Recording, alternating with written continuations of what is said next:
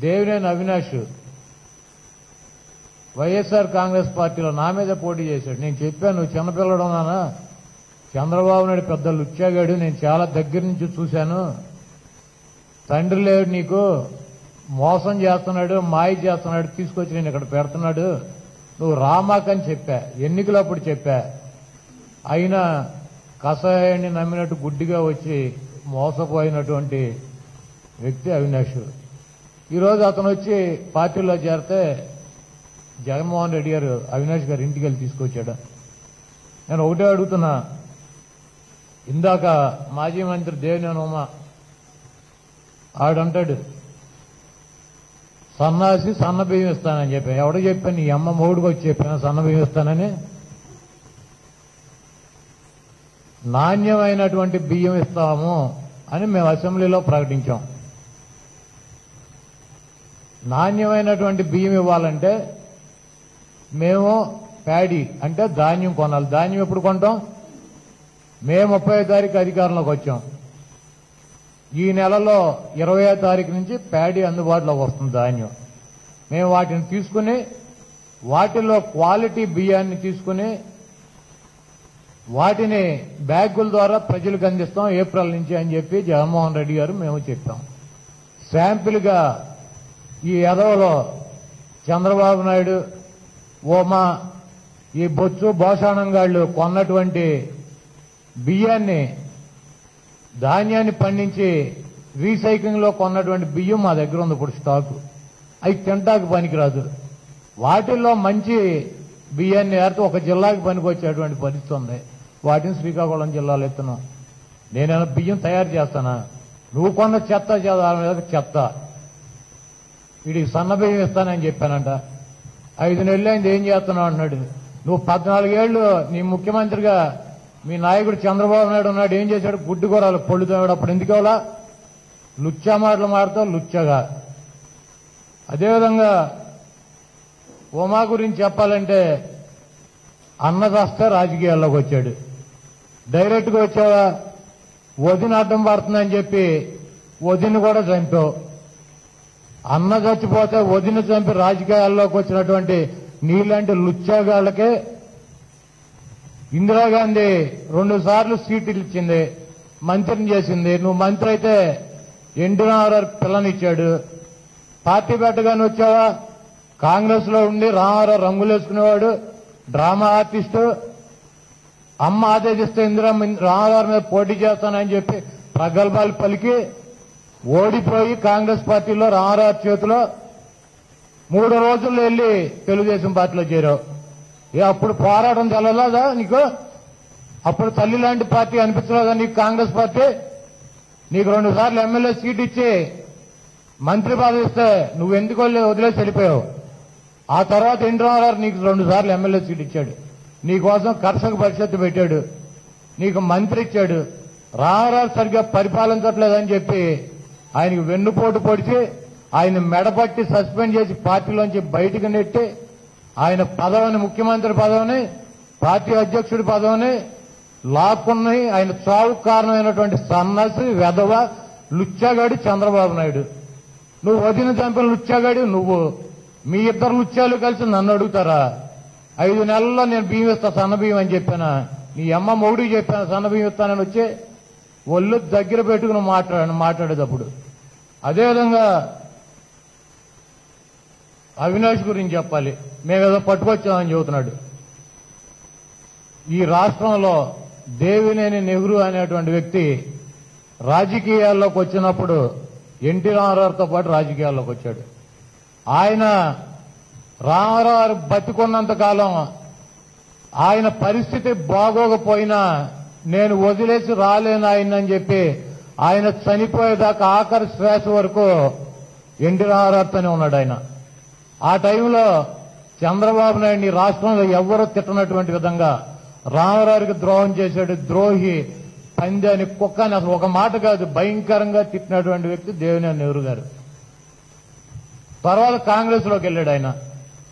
కాంగ్రెస్లోకి వెళ్ళి ఆ కాంగ్రెస్ పార్టీ పూర్తిగా తుడిచిపెట్టుకుపోయిన తర్వాత ఆయన ఆఖరి దశలో ఆయనకు ఆరోగ్యం బాగోక మరి ఇబ్బందులు పడుతున్నటువంటి టైంలో కొడుక్కి ఏదైనా దారి చూపించాలని చెప్పి ఆయన నాలుగు మెట్లు కిందకు దిగి ఈ దుర్మార్గుడు ఈ దుష్టుడు అయినటువంటి చంద్రబాబు నాయుడు దగ్గరికి వెళ్ళి చేతులు పట్టుకుని నా కొడుకుని నీ చేతుల్లో పెడుతున్నాను జరిగింది మనసులో పెట్టుకోమాక అతనికి రాజకీయంగా లిఫ్ట్ ఇమ్మని చెప్పి అడిగి పార్టీలో చేరినటువంటి సంవత్సరంలోనే మరణించాడు నెహ్రూ గారు.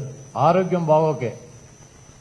ఆరోగ్యం బాగుండుంటే ఇటువంటి చంద్రబాబు లాంటి లుత్యాలతో జీవితకాలం పోరాటం చేసేవాడు నెహ్రూ గారు. నువ్వు నమ్మకంగా చేర్చుకుని ఆయన పోయిన తర్వాత తెలుగు యువత అధ్యక్షుడు ఇచ్చాయంట. అది ఒక పెద్ద పదవి. కళా వెంకటరావు రాష్ట్ర అధ్యక్షుడు. కళా వెంకటరావు సొత్తు ఏమనిపిస్తుంది మనకి? అటువంటి పార్టీకి అధ్యక్షుడిచ్చి గుడివాడలో ఓడిపోతాడని చెప్పి తెలిసినప్పటికీ కోటాను కోట్లు ఖర్చు పెట్టు దొంగ సర్వే కాగితాలు ఇచ్చి గుడివాడ పంపించి అతను ఓడిపోయి వచ్చినాక అతను ఒక పురుగులాగా చూసేటువంటి పరిస్థితి. పైన ఉన్నటువంటి ఎన్టీ రామారావు రాజశేఖర రెడ్డి గారు నెహ్రూ గారు జ్ఞానోదయం కల్పించి జగన్మోహన్ రెడ్డి గారి దగ్గరికి వెళ్ళమని పంపిస్తూ వచ్చాడు ఆయన. జగన్మోహన్ రెడ్డి గారు ఇంటికి వెళ్ళి తీసుకొచ్చాడా? జగన్మోహన్ రెడ్డి గారి గురించి మాట్లాడుతున్నారు వీళ్ళు. అదేవిధంగా వంశీ చెప్తున్నాడు ఏ రకంగా బ్లాక్ మెయిల్ చేశారు ఎంత ఇబ్బంది పెట్టారు అతన్ని?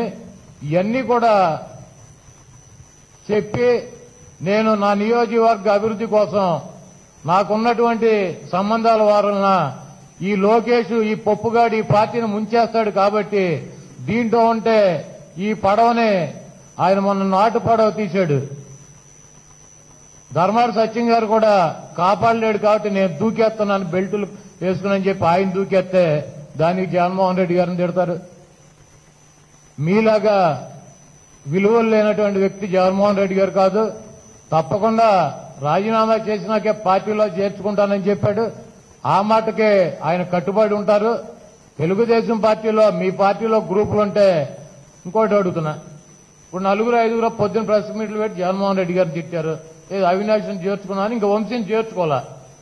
నలుగురు రాజ్యసభ సభ్యులు సునీత చౌదరి సీఎం రమేష్ టీజీ వెంకటేష్ గరికపాటి రామ్మోహన్ రావు వీళ్ళు నలుగురు వెళ్ళి బీజేపీలో చేరితే కండువాలు కప్పుకుని ఈ సన్నాసులకి కళ్ళు కనపడలేదండి. గుడ్డోళ్ళకి హోమాక్ కానీ లేకపోతే పొద్దున టీవీలో మాట్లాడేవాళ్ళు కానీ ఈ పప్పుగాడికి కానీ ఆ పప్పుగాడి బాబు చంద్రబాబు చంద్రబాబుకి కనపడలా? ఒక్కడ మాట్లాడారా? ఎందుకు? కేసులు పెట్టి కేంద్ర ప్రభుత్వం లోపలేస్తుంది. భయపడి ఉత్త పోసుకుని మాకేం సంబంధం లేదన్నట్టు ఇళ్ళలో దాక్కున్నటువంటి వీళ్ళు చూసుకున్నారు. ఏంట్రా నువ్వు చూసేది ఉమా? ఎక్కడ రమ్మంటావు? పిచ్చవాగుడు పిచ్చ మాటలు మాట్లాడమాక అదేవిధంగా ఇంకా కొన్ని ఆరోపణలు. ఇసుకని కృత్రిమంగా జగన్మోహన్ రెడ్డి గారు కొరత సృష్టించారంట. నీళ్ళలో వరదలు ఉంటే ఎవడన్నా ఇసుక తీస్తాడా? ఇసుక తీసుకురావటం వల్ల సిమెంట్ రేట్లు పెరిగాయంట అంటే ఇసుక లేకపోతే సిమెంట్ ఎవడు వాడ్డు. సిమెంట్ వాడపోతే సిమెంట్ రేట్లు ఎట్లా పెరుగుతాయండి. కనీస జ్ఞానం లేదు. సిమెంట్ రేట్లు అని చెప్తాడు. అదేవిధంగా చంద్రబాబు నాయుడు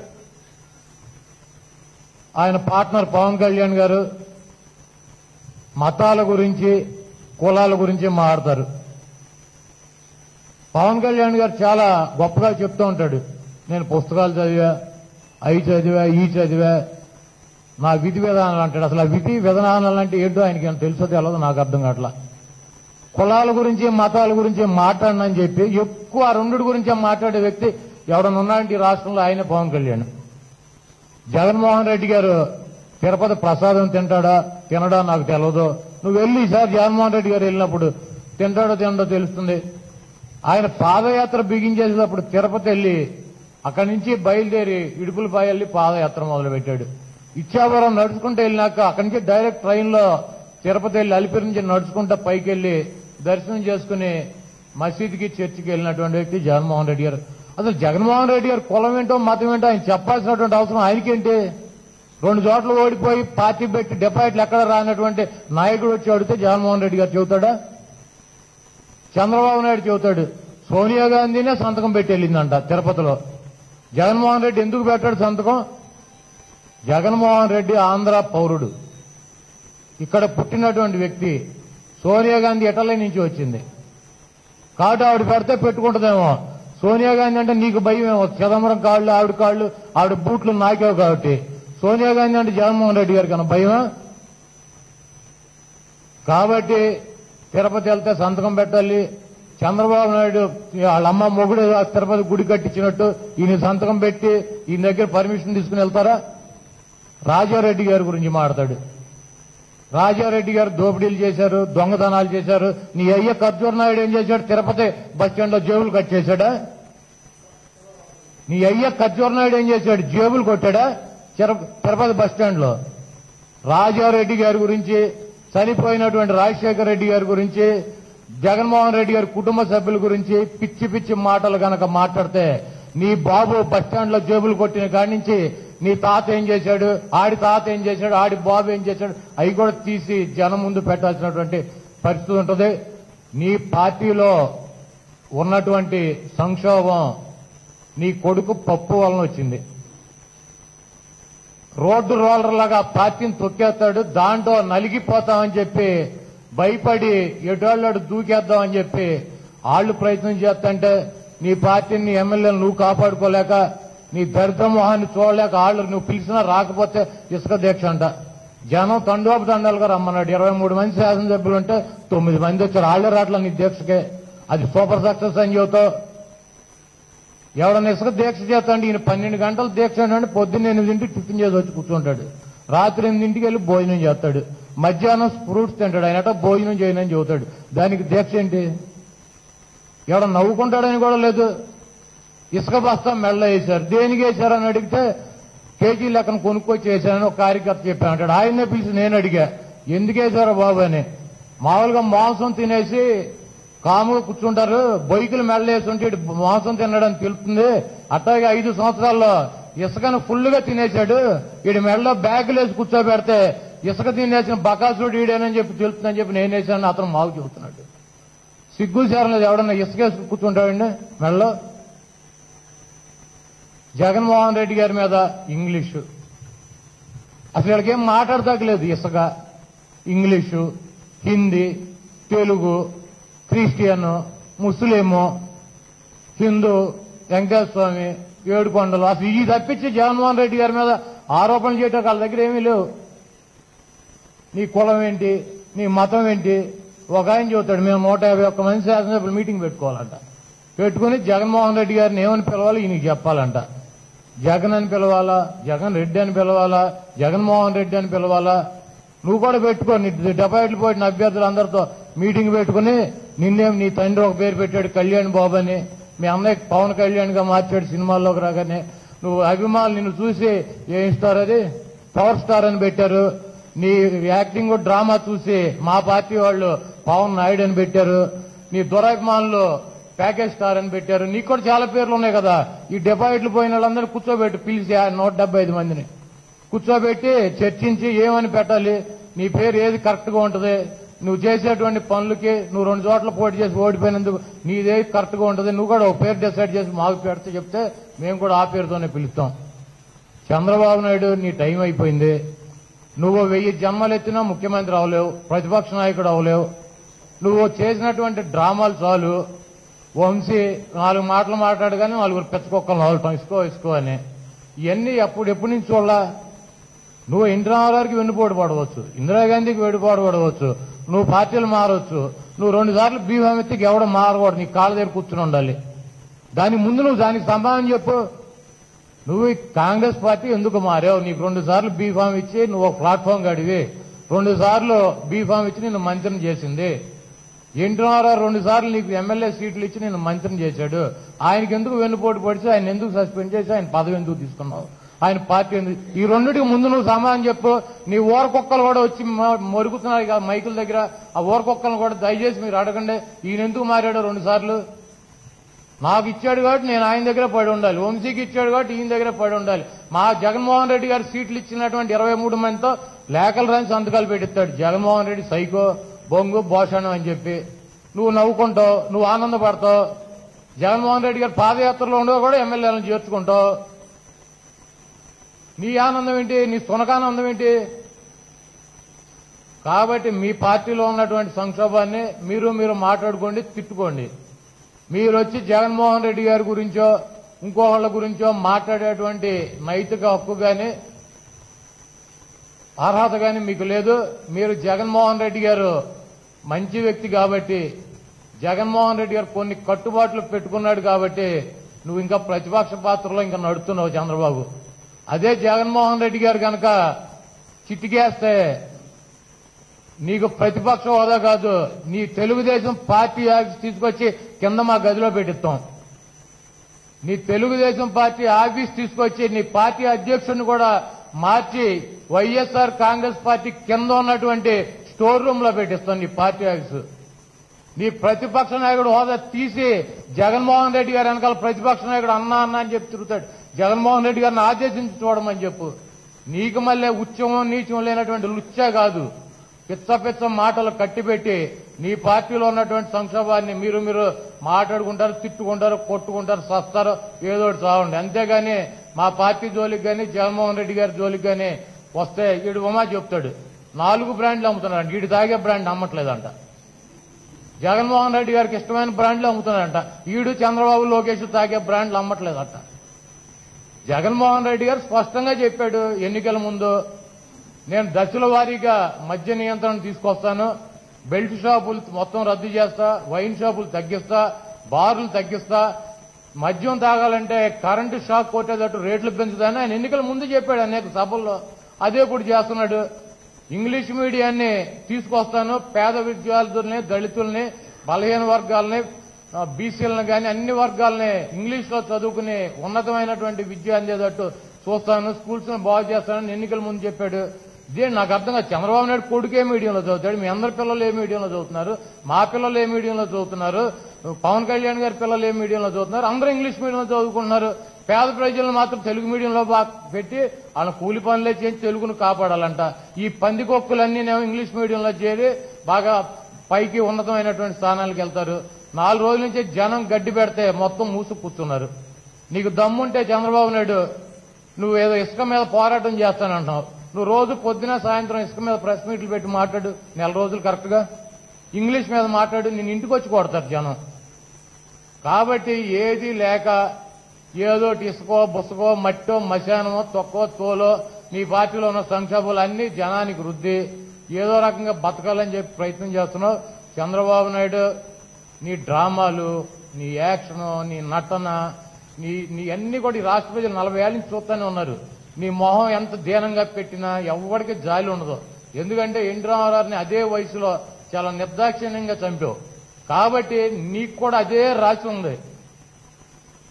పైన ఉన్నటువంటి ఎన్టీ రామారావు ఆశీస్సులు రాజశేఖర రెడ్డి గారి ఆశీస్సులు ఈ కింద ఉన్నటువంటి ఐదు కోట్ల మంది ఆశీస్సులు జగన్మోహన్ రెడ్డి గారికి పుష్కలంగా ఉన్నాయి. జగన్మోహన్ రెడ్డి గారిని నువ్వు గాని నీ పార్టీ శ్రేణులు గాని నీ కొడుకు పప్పు గాని ఆయన చిటికిన ఏళ్ళ మీద బొచ్చు కూడా పేకలేరు నీ పార్ట్నర్ అందరూ కలిసినా కూడా. కాబట్టి నువ్వు ముందు నలుగురు ఎంపీలు వెళ్ళి బీజేపీలో చేరారు. వెళ్ళి ఢిల్లీ వెళ్ళి అక్కడ ధర్నా చేయి. నీ గొడ్డలు తీసి కొట్టి లోపలేస్తారు అక్కడ. నీకు అన్ని తెలుసు డ్రామాలు నాటకాలు. నువ్వు చేసినటువంటి నృత్య పనులు. మా జగన్మోహన్ రెడ్డి గారు ఎటు- ఎటువంటి అవినీతి పనులు చేయట్లేదు. ఉమా చెప్పినట్టో లేకపోతే యనమాల రామకృష్ణుడు చెప్పినట్టో మీరు బోకర్లు చంద్రబాబు నాయుడికి. మంచి మంచి శాఖలో ఇరిగేషన్ శాఖ. అంటే బాగా ఎక్కువ డబ్బులు రొటేషన్ ఉంటుంది. ఫైనాన్స్ శాఖ. అన్ని డిపార్ట్మెంట్లకి అక్కడి నుంచి వెళ్ళాలి. కాబట్టి ఇటువంటి దేవినేని ఉమా యనమాదల రామకృష్ణ ఇట్లాంటి మినిస్టర్లు కాదు వీళ్ళు గతంలో వీళ్ళు బ్రోకర్లు. కాంట్రాక్టర్లకి వాళ్ళకి మధ్యలో సంచులు పోగు చేసి చిన్నబాబుకి పెద్దబాబుకి సప్లై చేసేటువంటి ఇట్లాంటి బోకర్లను పెట్టుకుని పార్టీని నడిపినటువంటి చంద్రబాబు నాయుడు ఒళ్ళు దగ్గర పెట్టుకుని మాట్లాడు మాట్లాడిచ్చు. నీ కుక్కల్ని అన్నిటినీ కూడా బోనులు వేసి కట్టే జాగ్రత్తగా ఉంచుకో వాటిని కనుక బయటకు వదిలితే వాటికి దేవశుద్ధి ఉంటుంది నీకు కూడా ఉంటుంది.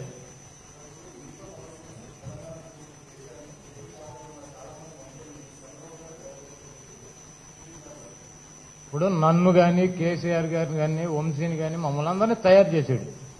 నేను కూడా అదే చెబుతున్నాను నువ్వు అంత పోటుగాడు అయితే ఆ పార్టీ ఎన్టీ పెట్టిన పార్టీ.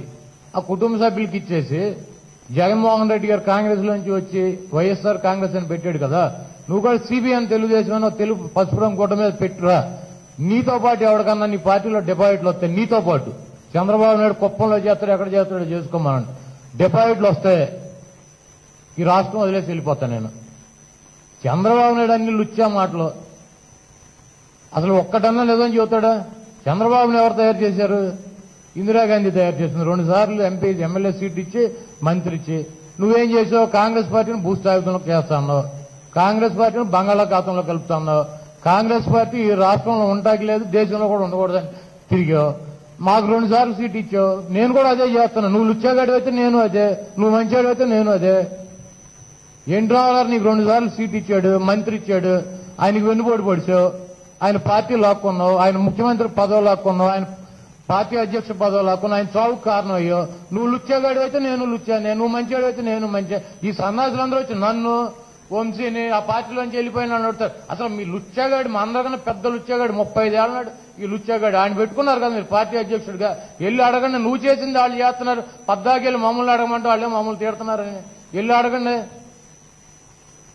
అసలు చంద్రబాబు నాయుడు మా అందరికి ఇచ్చాడండి. మా అందరినీ ఈయన రాజకీయాల్లోకి తీసుకొచ్చి జగన్మోహన్ రెడ్డి గారిని ముఖ్యమంత్రిని చేశాడు మోడీ గారిని ప్రధానమంత్రి చేశాడు ఇప్పుడు ఉన్న రాజ్నాథ్ కోవిల్ గారిని ఏమో రాష్ట్రపతి చేశాడు ట్రంప్నేమో అమెరికా అధ్యక్షుడిని చేశాడు ఇవన్నీ చేశాడు. నేను ఒక్కటే అడుగుతా మీరు సమాధానం చెప్పండి ఆయన చెప్పమానండి. చంద్రగిరి కాన్స్టిట్యున్సీ చంద్రబాబు నారావారిపల్లి ఉన్నటువంటి కాన్స్టిట్యున్సీ. ఎన్టీ రామారావు ఉండగా ఈయన కాంగ్రెస్లో పోటీ చేసిన ఎనభై మూడులో తెలుగుదేశం గెలిచింది. ఎనభై ఐదులో తెలుగుదేశం గెలిచింది ఎనభై తొమ్మిదిలో కాంగ్రెస్ గెలిచింది తొంభై నాలుగులో తెలుగుదేశం గెలిచింది. అంటే నాలుగు సార్లు ఎన్ని సార్లు జరిగితే తెలుగుదేశం మూడు సార్లు గెలిచింది. ఒకసారి కాంగ్రెస్ పార్టీ గెలిచింది.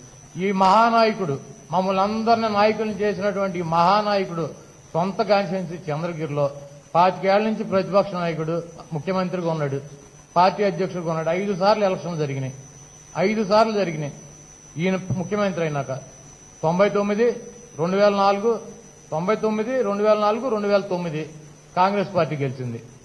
రెండు వేల పద్నాలుగు రెండు వేల పంతొమ్మిది వైఎస్ఆర్ కాంగ్రెస్ పార్టీ గెలిచింది. నీ నారావారిపల్లి ఉండి నువ్వు డెబ్బై ఎనిమిదిలో ఎమ్మెల్యేగా ఉన్నటువంటి నియోజకవర్గాల్లో గెలిపించుకోలేనటువంటి సన్నాసి నువ్వు మమ్మల్ని ఏంటి చేసేది? అసలు ఇక్కడ ఏదైనా చరిత్రలో ఉంటుందా? ఇటువంటి దౌర్భాగ్యం నాయకుడు సొంత ఊళ్ళో గెలవలేనటువంటి సన్నాసి ఎవడన్నా రాష్ట్ర పార్టీ అధ్యక్షుడికి ఎవడన్నా పెట్టుకుంటాడు? అన్నం తినేవాడు. మరి ఆ పార్టీ వాళ్ళు ఎట్ట పెట్టుకున్నారో ఈయన పా- ముఖ్యమంత్రిని ఎట్ట చేశారో ప్రతిపక్ష నాయకుడిని ఎట్ట చేశారో అర్థం కావట్లా? జగన్మోహన్ రెడ్డి గారు డెబ్బై ఎనిమిదిలో రాజకీయాల్లోకి వచ్చిన కాంచి తండ్రి బాబాయ్ తల్లి ఆయన. ఆ పులివెందల నియోజకవర్గంలో మెజార్టీ పెరుగుతా పెరుగుతూ వాళ్ళే గెలుపుతున్నారు. ఆ జిల్లాలో కాంగ్రెస్ పార్టీ అధికారంలో తెలుగుదేశం అధికారంలోకి వచ్చిన ఆ జిల్లాలో తొమ్మిది సీట్లు ఆళ్ళే పదికి నీకు తొంభై తొమ్మిదిలో కానీ రెండు వేల నాలుగులో కానీ రెండు వేల తొమ్మిదిలో కానీ రెండు వేల పద్నాలుగులో కానీ రెండు వేల పంతొమ్మిదిలో కానీ రెండుసార్లు తెలుగుదేశం అధికారంలోకి వచ్చింది. చిత్తూరు జిల్లాలో మెజార్టీ సీట్లు ఎప్పుడన్నా ఒకసారి వచ్చినాయా? నేను రాజకీయాలు వదిలేసి వెళ్ళిపోతా. ఏమో నువ్వేం నాయకుడివి? సొంత ఊళ్ళో గెలవలేవు సొంత జిల్లాలో గెలవలేవు. ఎన్టీఆర్ పెట్టిన పార్టీ మీద బతికే నాయకుడు నువ్వైతే నువ్వు మాతో పోలికి నువ్వు మమ్మల్ని తీసుకొచ్చేసింది. కాబట్టి మాట్లాడేటప్పుడు ఒళ్ళు దగ్గర పెట్టుకో. ఆ పార్టీ నాయకులు మొత్తం డాగ్స్ అన్నింటినీ బోన్స్ లేసి క్లోజ్ చేయాలి డోర్లు. లేకుండా జగన్మోహన్ రెడ్డి గారి మీద పిచ్చి వాగుడు కనుక వాగితే ఒక్కొక్కటి తాటా తీస్తాం. ఈ కుక్కలకి కుక్కల వ్యాన్లు ఎక్కిస్తాం.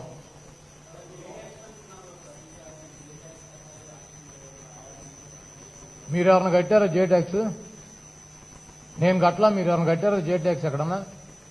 లేదా మీకు సంబంధించిన మిత్రుల్లో మీ కుటుంబ సభ్యులు మీకు తెలిసిన వాళ్ళు ఎవరిని కట్టారా? కట్టలేదా? మరి చంద్రబాబు సొల్లుగాడు. ఆయన మాటలు మాట్లాడినారనుకో ఆ పార్టీ ఎవడు ఎండ ఆయన మాటలు ఆ సొల్లు మాటలు? ఆ పార్టీలో ఉన్నాళ్ళే మా కార్యకర్తలు ఆ కుటుంబ సభ్యులు ఆ కుల సభ్యులు వాళ్ళే ఉంటారు పాపం వాళ్ళే మునిగిపోయి ఇప్పుడు డిఫాల్టర్లు అయిపోయి రోడ్ల మీద తిరుగుతున్నారు. ఆయన మాటలు ఎవడు నమ్మకండి జే ట్యాక్స్ అంటాడు డి ట్యాక్స్ అంటాడు బొంగు ట్యాక్స్ అంటాడు పప్పు ట్యాక్స్ అంటాడు ఏదో ఒకటి చెప్తాడు.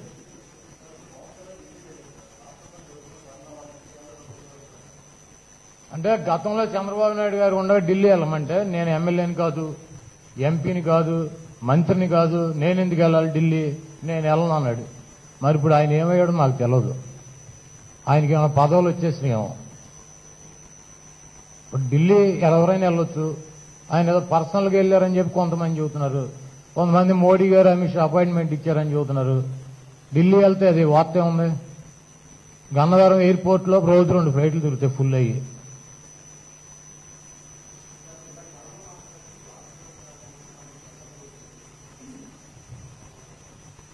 ఏమండి యనమాల రామకృష్ణుడు ఎవడు? చంద్రబాబు నాయుడు ఉచ్చే పనులు చేస్తే దానికి సపోర్ట్. రెండు రామారావు దించేసినప్పుడు ఆ సీట్లో కూర్చుని రామారావుని సమాజ్ చేసిందంటే హనుమతుల రామకృష్ణుడు పాత్ర ఎక్కువ కదా. ఆ ఊరు వెళ్ళి చెప్పండి ఆ ఊళ్ళో. నాకు తెలిసి రెండు వేల నాలుగు నుంచి గెలవట్లా. ఈయన గెలవడు ఈయన తమ్ముడు గెలవడు ఈయన కుటుంబ సభ్యులు ఎవరు గెలవరు. ఇట్లాంటి దౌర్భాగ్యులందరూ ఆ పార్టీలో నాయకులు. వాళ్ళు స్టేట్మెంట్లు ఇస్తారు మేము సమాధానాలు చెప్పాలి. Subscribe us and press the bell icon for more interesting updates.